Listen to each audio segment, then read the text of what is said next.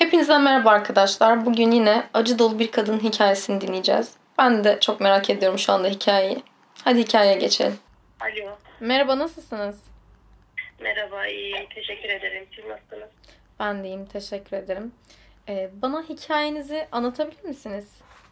Evet, tabii ki. Ben üç buçuk dört yaşındayken annem beni halama verdi. Halam burada. Ben Aydın'da oturuyorum. Halam buraya geldi. Gerçekten zor. Bazen düşünüyorum da anlatmaya. Hiç kimseye anlatamıyorum. Evet çok zor ama Cesaret- anlatmak Cesaretimi toplayıp anlatmak çok rahatlatıyor. Evet, Kendimden için biliyorum. zaten yıllardır içimde tutuyorum her şeyi. Kimseye anlatamıyorum. Dedim belki size anlatırım. Dört ya, dö- evet, üç buçuk dört yaşındaydım. Halam buraya geldi. Benim halam görmüyor. Hiç çocuğu da yoktu. Ben yedi tane, yedi kardeşim var benim. Yedi kardeşin içinde üç abim. En son yani üç erkekten sonra bir kız olmuş annemin. Benden sonra da ben daha ciz- şey köye gitmeden önce bir tane daha kız kardeşim vardı zaten. Halam buraya geliyor. Çok sevdiğim halamı hani görmüyordu. Eli ayağı olmuştum. Burada nereye gitse elini tutuyordum götürüyordum. 2-3 ay burada kaldı. Annemler bahçe üstündeydi. incir bahçesinde. Hani halam gideceğim dedi. Ben de arkasından ağladım dedim. Hani niye gidiyorsun? Ben de gelin senle. Hani ne bileyim o kadar uzak bir yol. Hani gidip de bir daha o kolay kolay gelmeyeceğimi bilmiyordum. Çocukluk işte. Çok sevdim. Yani burada bana o kadar iyiydi. Ben dedim ben de geleceğim halam. Babama söyledi halam hani kendimle götüreyim. Okula hani o zaman işte okullar tatildi gelmişti. Okullar açılsın biri gelirse göndereceğim dedi. Babam da tamam götür dedi. Annem de hiç itiraz etmedi. Hani bir de üç tane erkek çocuktan sonra bir kızın olmuş. Nasıl bırakıyorsun? Yani benim şu an iki tane evladım var. Asla yani beş dakika kapının önüne bile çıkıyorlar. On defa sağıma soluma bakıyorum. Ay nerede kaldı? Niye gelmedi? Daha anne iki sene boyunca annemleri, kardeş, abilerimi hiç kimseyi görmemişim. Burnumda tutuyorlar. Eskiden de telefon da yoktu. Gelmediler mi seni görmeye? Seni görmeye hiç Hiç gelmediler mi? görmediler. Ben daha bir de ben geldikten sonra iki tane daha kardeşim olmuş. Daha onları hiç görmemişim. Ondan sonra annem yok halama diyor ki orada yazdır orada okula gitsin. Bir şey olmaz diyor gelmesin. Neyse halam beni orada okula yazdırıyor. Ha, halam bana ne kadar iyiyse o kadar da kötüydü. Küfürleri vardı görmüyordu ama çok hırçın bir halam var. Hani babamın ahlakı nasılsa bu anne halamın da iki katıydı. Bir de mesela tamam ciğeri değildim ama yani bilmiyorum halam çok kötüydü. Küfürleri, dayağı hiç bitmezdi. De küçücük yani küçücük kız ister istemez mesela halamın zıttına gidecek bir şey yapardı. Küçüğüm ne bileyim dışarı gitmek isterdim bırakmazdı. O zaman yan, evet iki, ikinci sınıfta yanılmıyorsam. Orada bir tane hanımın akrabası vardı büyüktü. Yani ne kadar büyük desem o da 18 falanlarsa ben de ikinci sınıfa falan gidiyordum. Evet, bana dedi ki hadi e, dedi gel içeride oyun oynayalım. Tamam dedim. Hani bilmiyorum ya ben de oyuna hevesli. Adamlar içeride oturuyor biz de bir arada geçtik. Ben de bilmiyorum daha ne bileyim küçülüyorum. E, affedersiniz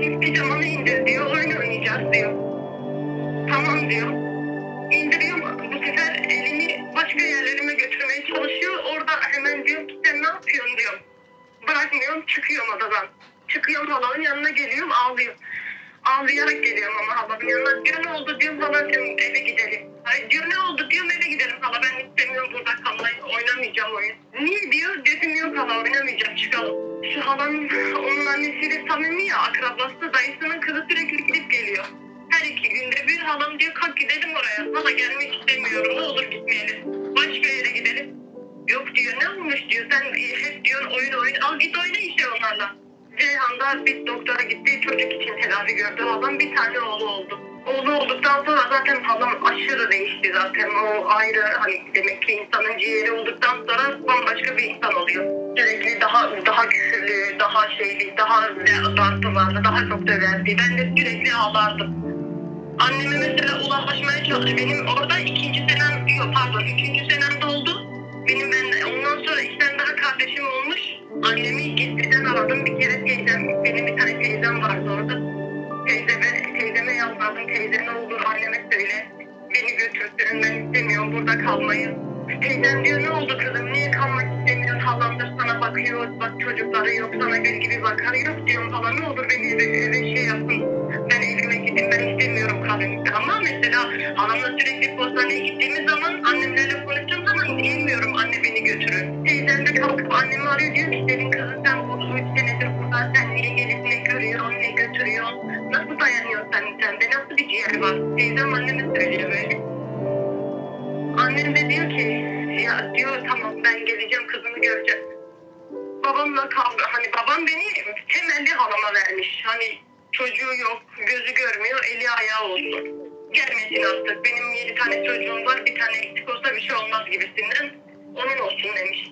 Vermiş görmemişim tamam gitmiş gene ona olsun ama gidip göreyim. Annem geldi beni iki tane be- bebek kucağında biri iki yaşında kardeşim erkek diğeri de küçük kız kardeşim var şu an benim canım her şeyim o. Ben o var kucağında tanımıyorum. Anne kim bunlar diyorum diyor kardeşlerin kızı. Diyorum anne hiç mi özlemedin beni? Niye beni gelip görmüyorsunuz, götürmüyorsunuz? E diyor sen yerin güzel, halanın tek iki çocuğu yok, tek başınasın, bakar sana. Annem biraz orada kaldı, o zaman okula gidiyordum. İkinci sınıftaydım, o ikinci sınıf bitti, tatil oldu okul. Annem de gidecek eve, hani eve gidecek. Anne diyorum ben de geleyim mi? Ne de olsa okullar tatil, hani gelin abilerimi göreyim, çok özledim. Bir tane daha kardeşim vardı küçük, o da buradaydı. Ben giderken o bir yaşındaydı. Özlemişim hele Elif nasıl ay. Dedim hele nasıl onları göreyim onları. Annem de halama söylüyor. Halam istekçi tabii ki hani gitmemi istemiyor. Tamam diyor gelsin. Neyse geliyorum. Annemle tekrar geliyorum evime. Eve geliyorum. Kardeşlerim, abim, hiç kimse beni tanımıyor zaten. Çünkü bayağı dört, dört sene falan aradan geçmiş. Abilerim de mesela şey olmuş.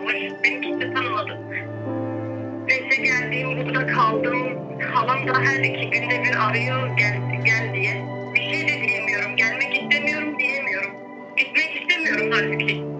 Çünkü gidiyorum dört duvar arasında hapis kalıyorum. Ne bir dışarı çıkabiliyorum. Okuldan eve, evden okula. Neyse okullar açılmaya yakın. Annem diyor ki, diyor işte bizim bir tane akraba gidiyor. Hadi git onunla diyor halanın yanına tekrar. Diyemiyorum gitmek istemiyorum. Tamam diyorum. Kalktım tekrar halamın yanına geldim. Halamın on- ondan sonra çocuğu oldu. Ben o zaman 5. sınıftaydım evet. 5. sınıftaydım halamın çocuğu oldu. Bir yaşına geldi bir sefer eniştem tarafından taciz, tacize uğradı. Oğlu bir yaşındaydı. O zaman halam dışarıda bulaşık yıkıyordu. Ben de oturmuş ödevimi yapıyordum. Yanaştı bana. Dedim ne oldu enişte? Dedi ben sana bir şey söyleyeceğim ama aramızda kal. Tamam dedim enişte ne oldu? Dedi işte ben mesela ben duş aldığım zaman, halan evde olmadığı zaman gelip benim başımı yıkar. Affedersiniz başka yerlerini gösterdi. Ellerinden hiç günah değil falan gibisinden konuştuk. Bir şey bilmiyorum. Sustum. Eniştem odadan çıktı. Halam geldi. Ağlıyorum. Halam ne oldu diyor. Yok ben sana bir şey söyleyeceğim korkuyor. Niye diyor? Hani çünkü bir de ben sürekli eniştemde yalnız kalıyorum falan. Mesela bir dışarı çıkıyor.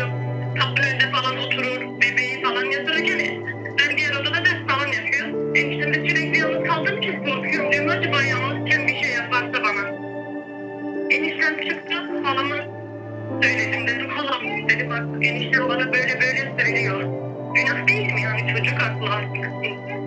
Şeye bakar mısın diyorum ki hala günah değil mi? Ben gitmiş eniştemin başına eğitim falan ettim diyor. Ama diyor sen ne diyorsun manyak mısın diyor. Ne biçim şeyler söylüyorsun dedim vallahi da. Eniştem böyle söyledi bana. Neyse halam bana diyor ki git komşudan diyor işte o zaman dedi gittik bilmem bir şey söyledi. Dedi ki git oraya ben seslendiğin zaman gel. Tamam dedim biliyordum eniştemle kavga edecek. Ben duvarın üstünde oturdum. Halamın, halamın enişteme bağırıp çağırdı. Enişteme hakaret etti. Çıkıp gidecektim bu evden. Çık git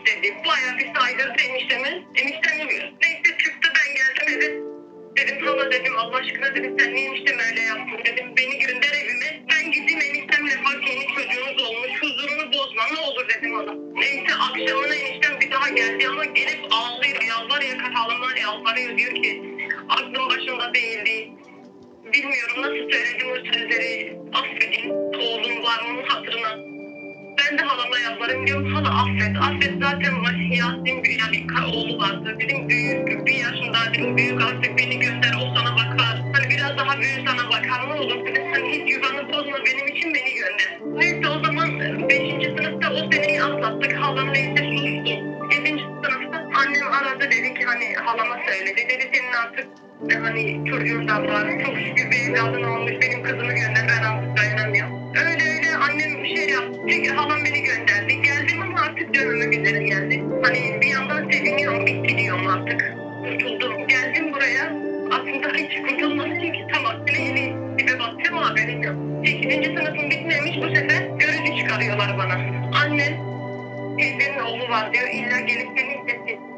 呀，你这个门的话，给你们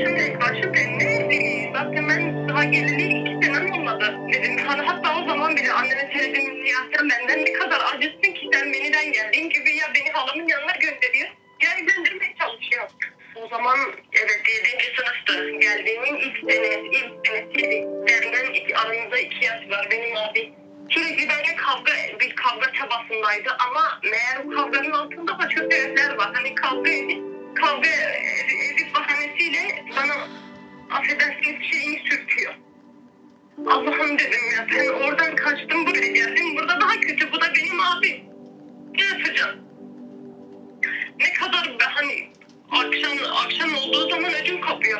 Abimle aynı odada yatmaya korkuyorum. Affedersiniz aş- aşağıdaki bölgelerimde bir tane sıcaklık hissediyorum. Gözümü gizliden açıyorum bakıyorum abim. Bir şey diyemiyorum susuyorum. Hani bir an önce elini çeksin diye kendimi kıpırdatıyorum. Birden şey yapıyorum ki bitti. Kendimi kıpırdattığım gibi abim gidiyor. O kadar sürekli vardı zaten. Sürekli benimle bir kavga çabası mesela kavga edeyim kendi kendime üstüne atayım ki şeyleri bana değsin. Hiç kimseye de söyleyemiyordum. Hani anneme söylüyorum. Zaten annelik yok. Anlatamam. Kardeşlerim o zaman küçük kız kardeşlerim benden. İki tane küçük vardı. Onlar küçük ne anlatabilirim ki onlara? Evlendikten sonra kurtuldum. Onun yüzünden zaten bir an önce bir evlenme çabası var döktüğümde hani bir an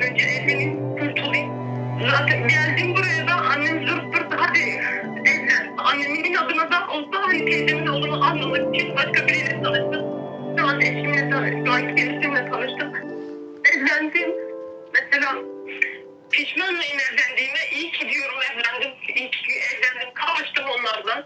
Ha, eşim iyi çok şükür. Hiçbir şeyim yok. İki tane evladım var. Allah'ın herkesin evladını başlasın, onları da bana başlasın. Ailem varlık içinde. Benim ailemin durumu çok iyi. Bahçeleri var, traktörleri var, kat kat evleri var. Ve bir gün olsun annemler, annem olsun, babam olsun el atmıyorlar bana. Durumumu görmüyorlar mı? Oturduğum ev yağmur yağdığı zaman damlalardan geçilmiyor. Her taraf damlıyor.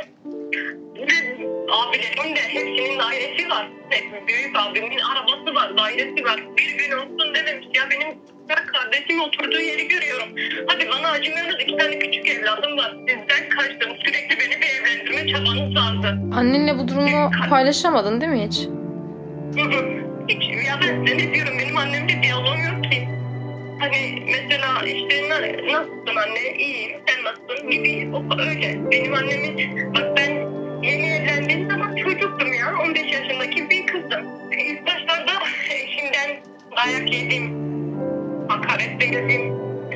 Çok şükür bugünlerime bugünlerime gelene kadar ben mesela bu yuvayı bozmadıysam kendi sayemde bozmadım. Hani kimseye muhtaç olmayayım, kimseye kendime götürmeyeyim. Eşin Bugüne gelebilmek için çok şu an- şükür, Gene şükür. Eşin şu an sana karşı nasıl? Şu an daha iyi. Ben o zaman evlendiğim zaman biz ev üstüne geldik. Kaynanamlarla üç erkek vardı. Yani bir de ben artık erkeklerden tiksinmiştim.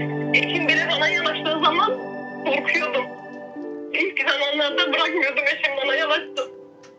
Yani kendini iyileştirmen bu şekilde olacak bence. Çocuklara verdiğin sevginle, çocuklarına olan e, ilginle olacak.